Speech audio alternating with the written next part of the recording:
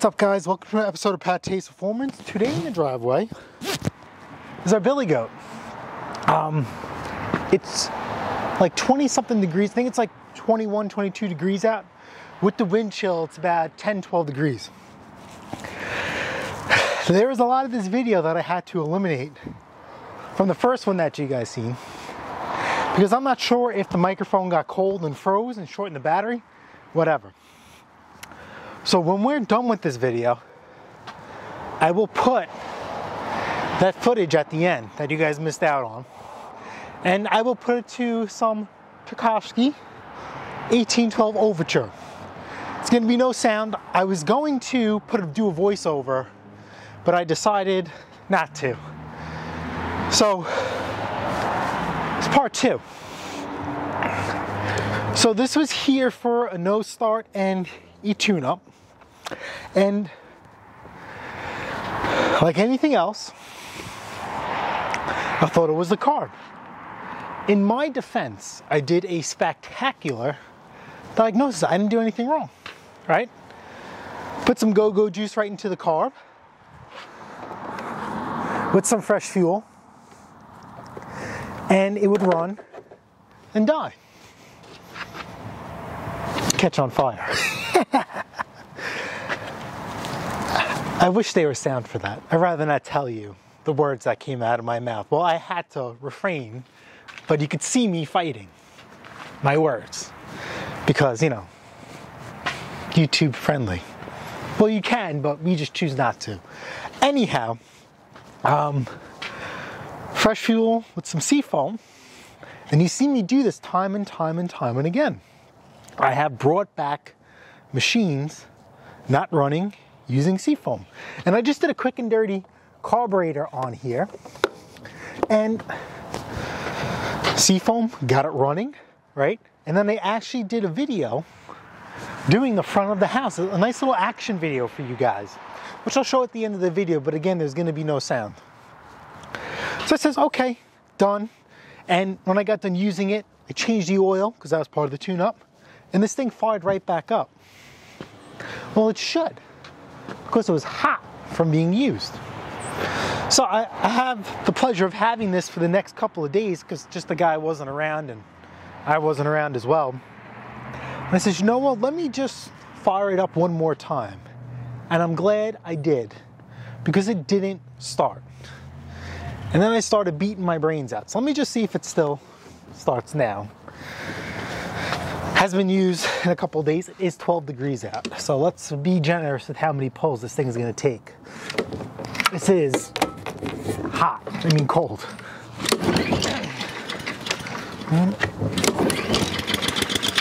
Okay, two. Remove the choke. Now it's low speed, which we get it. Oh, come on. Come on, don't do this. Maybe it's just too cold to play with it just yet. Yeah, it's too cold. And then I'll go over this this this thing. I missed it. I missed this oversight.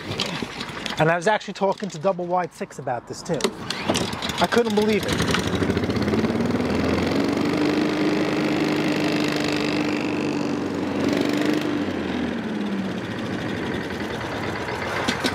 So anyhow, now I started to not say panic, but get a little aggravated because this thing would only run and die.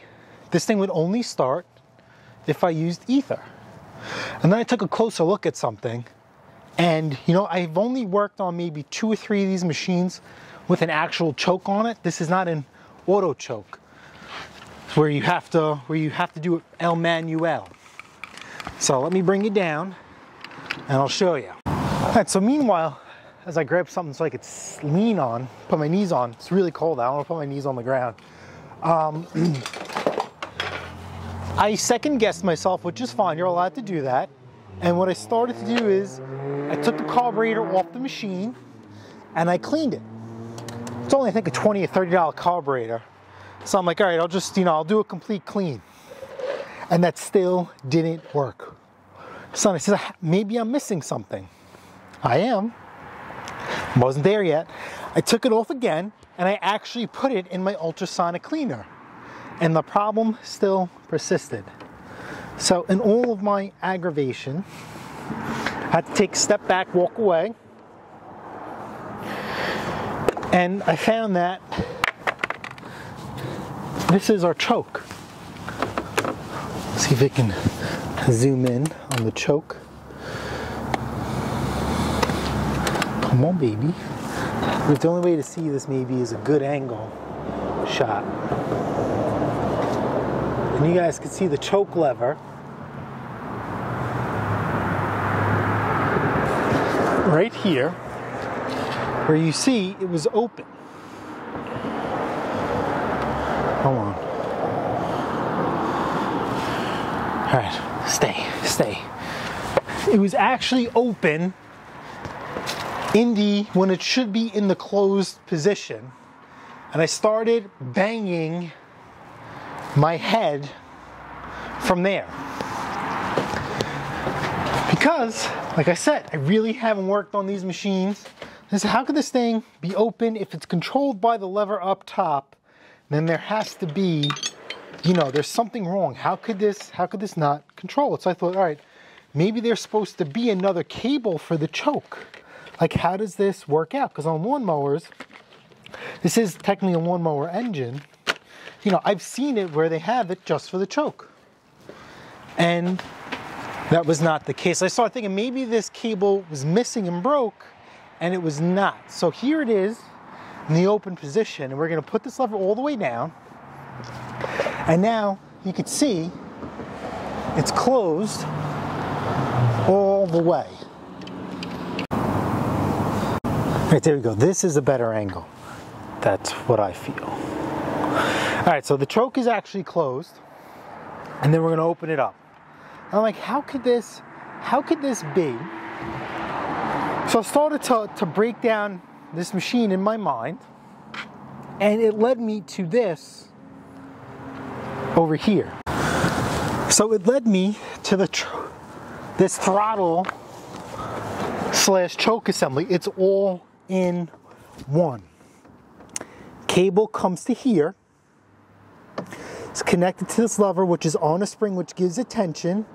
And pay attention to this to this arm right here.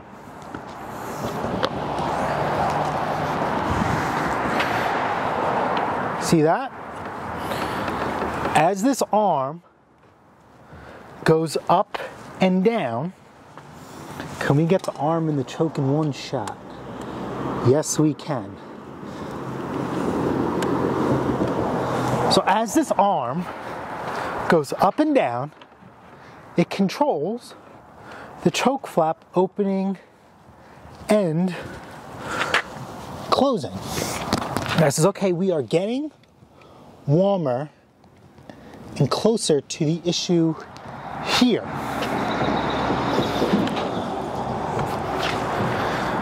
So I started to maybe think that because this was rusted, it was binding somewhere. So I'm like, ah, you know, it's a real pain for me to take all this apart and and and, and grind this down and and paint it. I'm like, you know, that's money. That that's time. That's money. Says, eh, I don't think, I don't think we're gonna. He'll be down for that. You know. Um, so I covered it with lube and I kept working it back and forth and nothing changed. He says, you know what? The guy said that Pete that he was in there and they had it running at some point. And uh, you know, maybe they did something that they shouldn't have done before. And I kind of thought that was the real deal because believe it or not, they had this arm in the wrong assembly. I can only move this by hand. If I was trying to move it by the cable, it was very, very stiff. So what I did is I undid this here to Phillips number two. So I'm gonna zoom you guys out because I know when I go in there, it might mess up the shot. But let's see. All right, so this is a Phillips number two. So all you have to do is undo this.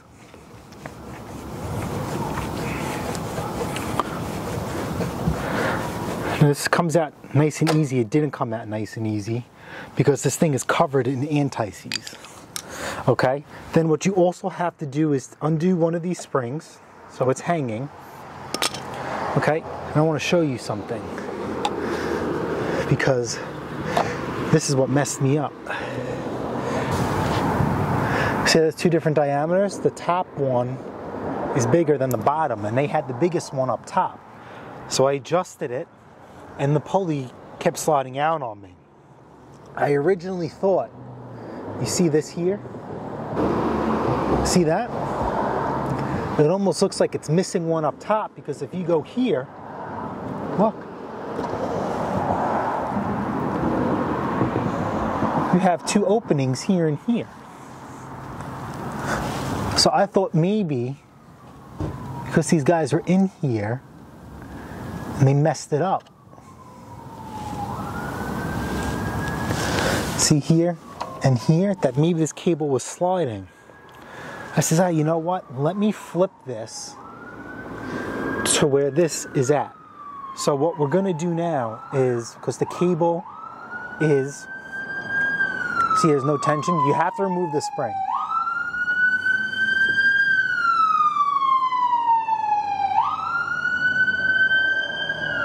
Can't these people die in somebody else's time?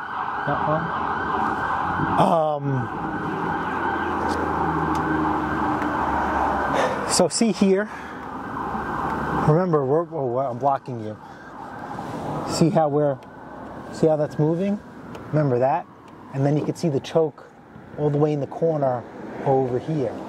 So you have to hold this, pin this. I have the thin side facing up of this bracket. Mm-mm-mm. And then we're just gonna kind of lock this into place. But remember, the skinny part on this machine has to be up. I don't know how the bottom came, you know, I don't know how this bracket, you know, was flipped. I do not. I assume that somebody else was in here. So I pulled it tight and I'm holding it tight. And you have to wash the choke and the carburetor at the same time. As long as that flap stays closed,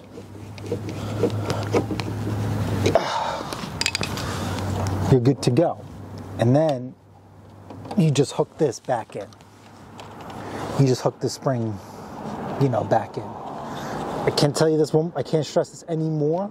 Do not try and do this with the spring still attached.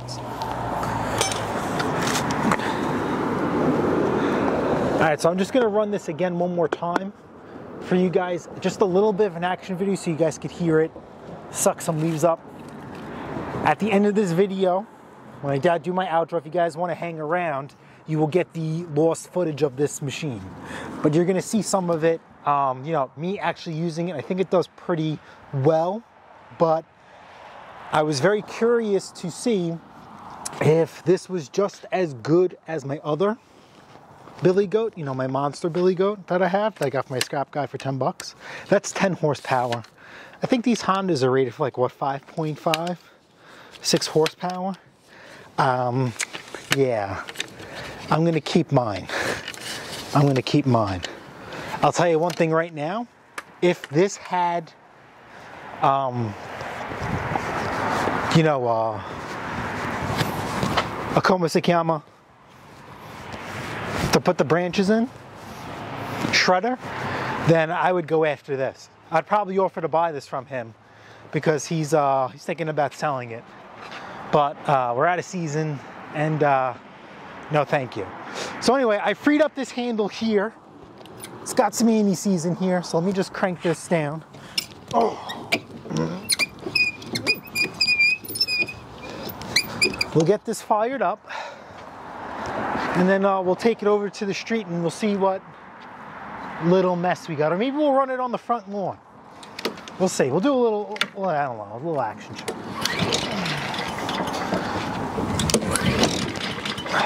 Come on. It's catching.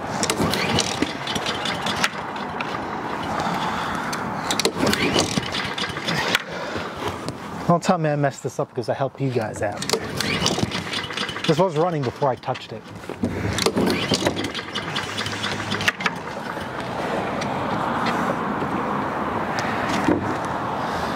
Yeah, this, this should be enough to, to get this going. Uh, the things I do for you guys. What's happening? What's happening?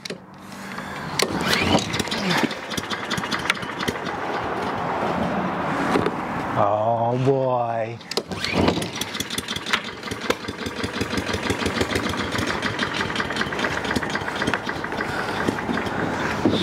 You're joking, right? Did I not mess this up? I could have swore this is in the clothes.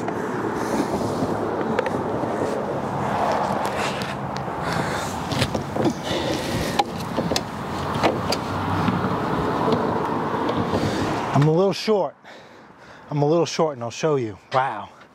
This little much makes that much of a difference. You see that? This is with the choke all the way down engaged on the cable. And check this out. See that little bit of movement? That's the nose start. So let me readjust this. All right, so I just made the adjustment. We should be good to go. I want to choke you guys. See the joke? Choke, choke. All right, down one more time. There we go.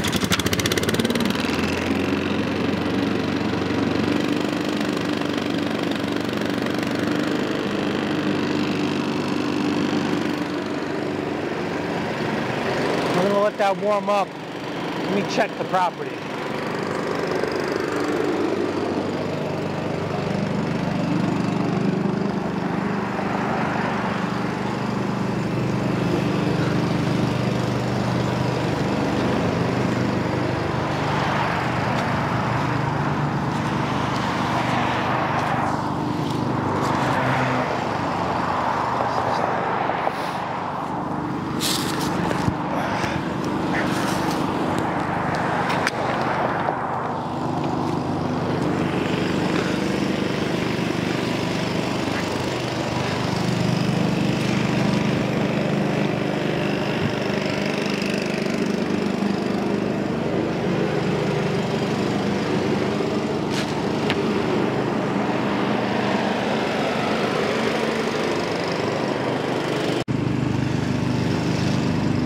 Right, so I have a little bit right here, and uh, that just builds up in the corner.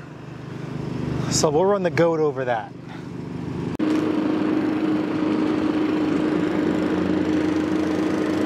It's really not.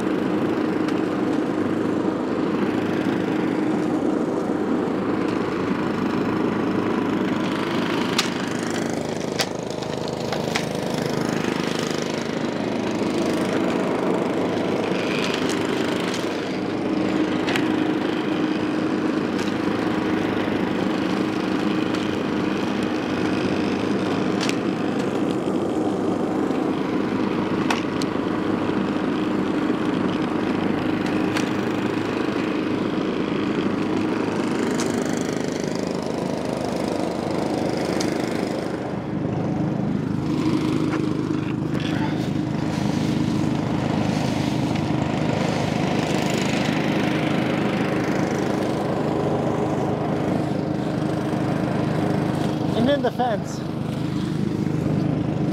these are a little hard.